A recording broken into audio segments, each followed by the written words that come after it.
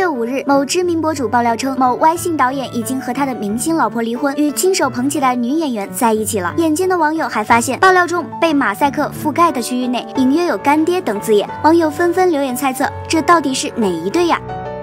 杨树鹏与张歆艺？No No No。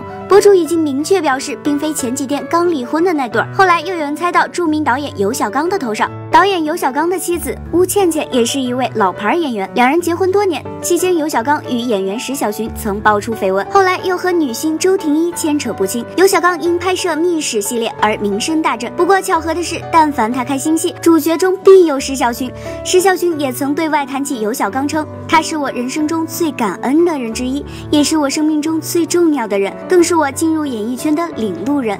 至于周婷一嘛。据说他曾经是一位普通的主持人。一次采访中，尤小刚相中周婷一，力邀她出演《西施密室》，周婷一便因此出道成名。二零一二年，周婷一在浙江卫视某节目第三季突然变成女主角，更加引发外界质疑。周婷一靠尤小刚上位当女主，看来两人的关系不简单哦。